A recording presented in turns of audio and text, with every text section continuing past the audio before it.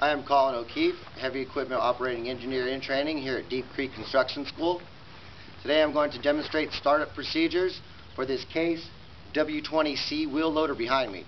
I've already done a walk-around safety inspection and control identification.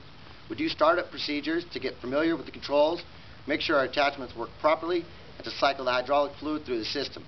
Let me show you.